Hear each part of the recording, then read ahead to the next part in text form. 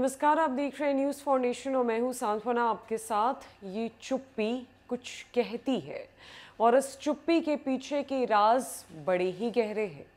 जी हाँ हम बात कर रहे हैं प्रदेश के मुख्यमंत्री नीतीश कुमार की, जिनकी चुप्पी को कोई समझ नहीं पाया है, ना ही उनकी चाल को कोई भाप सका है।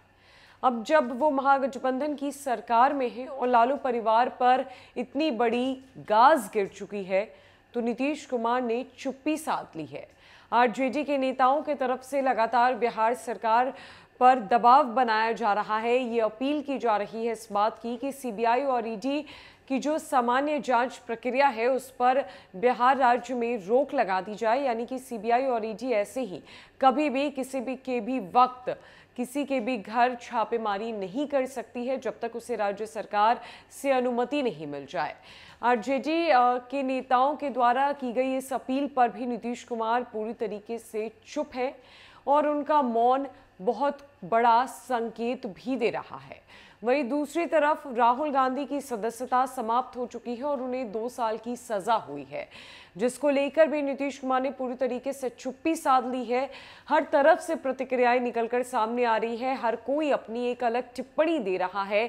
यहाँ तक कि जदयू के राष्ट्रीय अध्यक्ष मुंगेर, सांसद ललन सिंह भी पूरे मामले को लेकर मुखर हैं, लेकिन नीतीश कुमार कोई सुध लेने को तैयार ही नहीं है।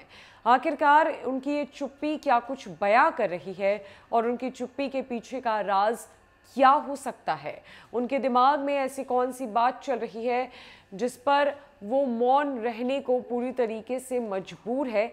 या यूँ कहें, खुद को मौन उन्होंने रखा है ताकि आने वाले दिनों की सियासी चाल को वो पूरी तरीके से पलट सके? जानते हैं।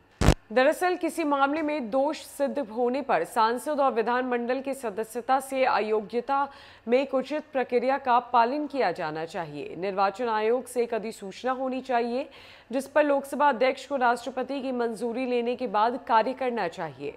ज़ाहिर है, इसमें थोड़ा समय लगता है। राहुल गांधी के मामले में हालाँकि अदालत के आदेश के 24 घंटे से भी कम समय में लोकसभा की सदस्यता से अयोग्य घोषित का आदेश दिया गया। इस हड़बड़ी से पता चलता है कि केंद्र की सरकार ने प्रकरण सक्रिय सक्रिय भूमिका निभाई है।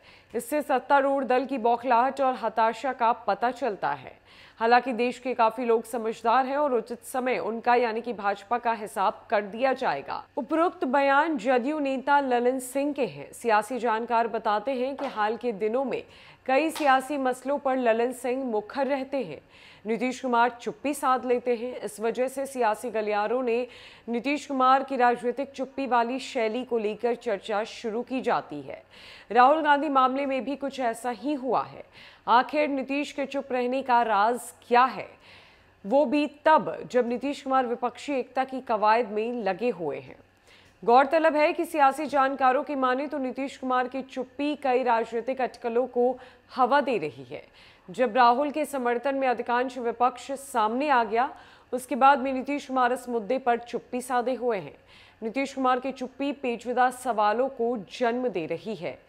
जब राहुल गांधी की सजा का ऐलान हुआ, उस वक्त नीतीश कुमार बिहार विधानसभा में मौजूद थे। उन्होंने अपनी कोई प्रतिक्रिया नहीं दी। जदयू ने राहुल के समर्थन में हुए प्रदर्शन से खुद को किनारे कर लिया। इस प्रदर्शन में आरजेडी, भाकपा, हिंदुस्तानी आवाम मोर्चा शामिल हुए। इन दलों ने प्रदर्शन के अलावा केंद्र सरकार पर निशाना भी साधा। उस दौरान जदयू की ओर से बिल्कुल ठंडी प्रतिक्रिया रही। इस मुद्दे पर नीतीश ने के करीबी विजय चौधरी ने कहा कि सजा सुनाने का मामला चौंकाने वाला था। हालाँकि विजय चौधरी ने इसके बाद कुछ भी नहीं बोला। बहरहाल सियासी जानकार मानते हैं कि नीतीश कुमार की चुप्पी काफ़ी रहस्यमयी है। जानकारों की माने तो जिसके साथ उन्होंने बिहार में महागठबंधन किया, वो परिवार ईडी और सीबीआई के फेरे में फंसा हुआ है, जिसके बाद उन्होंने विपक्षी एकता की कवायद सोची, उसे सजा हो गया।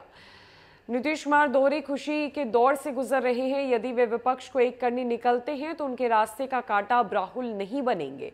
उधर तेजस्वी यादव और लालू परिवार में कोई जेल जाता है, उसके बाद नीतीश को अपने सियासी फैसले लेने में दिक्कत ना हो, इसीलिए चुप हैं। जानकारों का मानना है कि बीजेपी हर हमला करने से कतरा रहे नीतीश पर एक बार फिर सियासी उलटफेर कर सकते हैं। नीतीश की चुप्पी को लेकर तेजस्वी यादव भी हैरान बताए जाते हैं। सियासी जानकारों के मुताबिक नीतीश कुमार लालू परिवार पर हो रही कार्रवाई पर बहुत मुखर होकर नहीं बोल रहे, इसके लिए भी ललन सिंह को लगाया है। नीतीश कुमार को पता है कि भ्रष्टाचार पर ज़ीरो टॉलरेंस की उनकी बात का मज़ाक उड़ाया जा रहा है।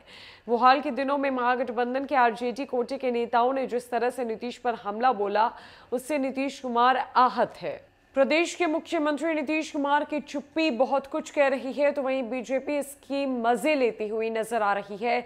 जहाँ बीजेपी का कहना है कि नीतीश कुमार अब बेहद सोची समझी चाल चल रहे हैं और वो अपना नुकसान नहीं होने देंगे। उनके दोनों हाथों में लड्डू है। एक तरफ़ राहुल गांधी का मामला है तो दूसरी तरफ़ तेजस्वी यादव और लालू परिवार का मामला है।